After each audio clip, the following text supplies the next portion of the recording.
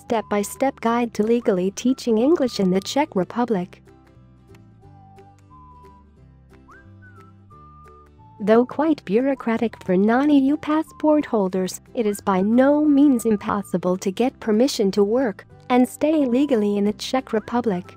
Depending on your country of origin, the process will differ slightly, but the following should give you a good idea of the process involved. Step 1. Understanding the visa situation. Firstly, a business license. Secondly, permission to stay in the country in the form of a long-term stay visa. The process of acquiring these two things can be a bit complicated as you can't really have one without the other. Listed here is a general outline of what you will need in order to apply for a long-term stay visa in the CZ. Some of this you can gather before you leave for the Czech Republic, but other things you might need to hire someone to do for you, or else try to organize them once you get here, if you are allowed to enter the Schengen zone without a visa. Step 2. Documents you will need you will need to have a bank statement proving you have accessible funds to support yourself while you are awaiting the legal right to work. You will also need to show a bank or debit card with which you can access said funds. This must be translated into Czech. You will need to fill out a visa application form. Although the form is in English and Czech, it must be filled out entirely in Czech. Hello Google Translate, as well as an application for a business license. This means registering yourself with both the health insurance and social insurance authorities and then contributing monthly to both of these once your business license and visa are valid. You will need proof of a clean criminal record from your country of origin. How this is obtained differs from country to country, so it is best to contact your nearest Czech embassy or consulate for advice.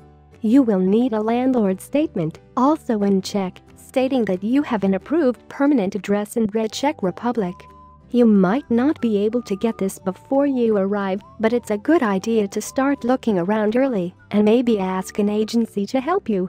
Your passport must have at least three months of validity left on it after the visa expires from the time your visa is granted. So if you had a passport valid for six months at the moment your visa is approved, you would only get the visa for three months. You will also need proof of health insurance valid for the time that your visa will be valid. This can be purchased online but must be accepted by the ministry so have a look at their website, see below, and then shop around. The embassy might also be able to suggest an accepted provider. Step 3. Get your TEFL certification. While it isn't necessary to have a TEFL certification to legally work in the Czech Republic, you will have a much easier time finding suitable positions with a certificate and will also earn a higher salary.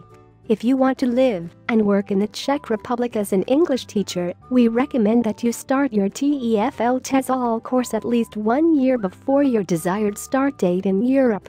If you choose an in-class course, you will receive your certificate within about four weeks. An online course usually takes anywhere between two and six months. This depends on how much time you have and how quickly you work through the units. Keep in mind that even if you complete a TEFL in-class course in Prague, you will still have to apply for your visa from outside of the country.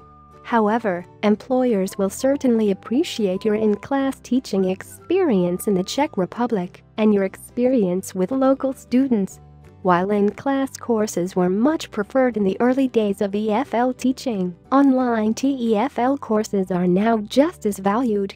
Keep in mind that employers usually only hire teachers with a TEFL certificate of more than 100 hours of study. That's why we recommend the following course options. 120-hour TEFL TESOL course, 220-hour master package, 470-hour professional package. Step 4. Be patient, persistent and flexible. Generally, Prague has the largest market for EFL teachers, but competition is fierce.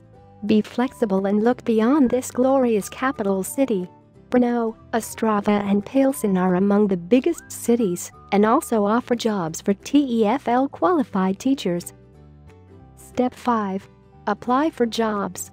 Once you have your TEFL certificate in hand and understand the local job market, you are ready to start your job search. All enrolled ITTT students and alumni have access to our lifetime job assistance, including our job boards. We have an extensive network of recruiters and schools in the Czech Republic to allow you to, to choose the job offer that suits your needs. You can also find a lot of vacant teaching positions in the Czech Republic via a quick Google search. However, not all of them will be legit. We have a couple of tips on how you can spot a TEFL job scam. For example, you should never have to pay for job placement. This also includes recruiters. Schools reach out to recruitment agencies looking for a new teacher, and then the school pays the recruiter upon hiring a teacher. A teacher never pays a recruiter. We work with a range of renowned recruiters who specialize in the TEFL market, and we would love to connect you with them. Are you ready for your Czech adventure? Apply now for your TEFL TESOL certification course and start teaching in a matter of months. Speak with an ITTT advisor today to put together your personal plan for teaching English abroad. Send us an email or call us toll free at 1 800 490 0531 to speak with an ITTT advisor today.